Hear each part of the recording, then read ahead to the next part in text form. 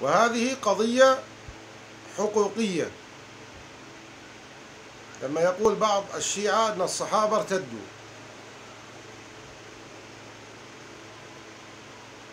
فللصحابة حق أن ندافع عنهم أولا. لأن من قال لأخيه يا كافر فقد باء بها أحدهما. ونحن عندنا حسب البراهين التي بينتها سابقا أن الصحابة على الإيمان. فمن كفر الصحابي هو الذي يكفر. الأمر الثاني النبي صلى الله عليه وسلم قال سيبلغ هذا الدين ما بلغ الليل والنهار. من الذي بلغ الدين؟ الصحابة رضي الله عنهم. وقال عليه الصلاة والسلام في يوم بدر إن تهلك هذه العصابة يعني يدعو الله تبارك وتعالى فلن تعبد في الأرض بعد اليوم. إذا من سيبلغ الدين؟ الصحابة رضي الله عنهم. والنبي صلى الله عليه وسلم قال حب الأنصار إيمان وبغضهم كفر وقال لا تسبوا أصحابي. فعلى قول بعض الشيعة أن الصحابة كفروا. إذا النبي صلى الله عليه وسلم الذي بعثه الله لا يعلم أن أصحابه بعده ارتدوا أي كفروا على قول بعض الشيعة. وهل النبي يجهل هذا الأمر؟ فأيضا هذا حق للنبي صلى الله عليه وسلم أنه يعلم ما سيكون كما قال في حديث آخر زويت لي الأرض. والنبي صلى الله عليه وسلم قال ستكون فتنة.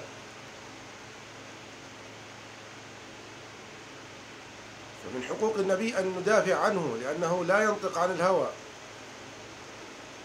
وثالثا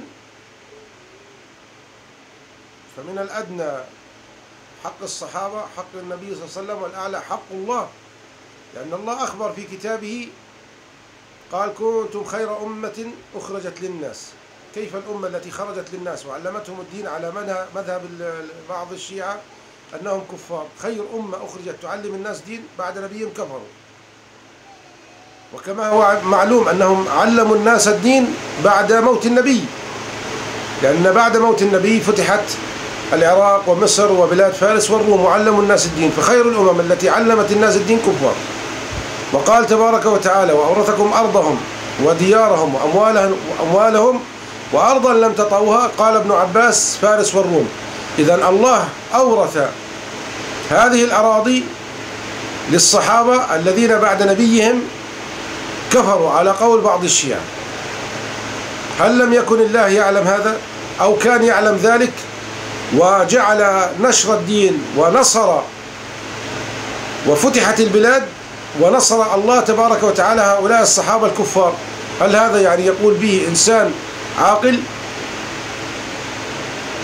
وكذلك جعلناكم أمة وسطا. محمد رسول الله والذين معه أشداء على الكفار والسابقون الأولون من المهاجرين والأنصار والذين اتبعوهم بإحسان رضي الله عنهم ورضوا عنه. رضي الله سبحانه أخبر تبارك وتعالى أنه رضي عنهم ثم بعد موت النبي كفروا. لم يكن يعلم الله أنهم كفروا أم كان يعلم وفي هذا الحال رضي الله عنهم. وأعد لهم جنات تجري تحتها الأنهار خالدين فيها أبدا. لقد رضي الله عن المؤمنين إذ يبايعونك تحت الشجرة فعلم ما في قلوبهم. ما معنى علم ما في قلوبهم؟ أنهم سيموتون على الإيمان. ومن كان تحت الشجرة؟ أصحاب النبي صلى الله عليه وسلم المشهورون المعروفون. وقال النبي لن يدخل النار أحد بايع تحت الشجرة. فكيف على مذهب المنحرفين من الشيعة أنهم ارتدوا؟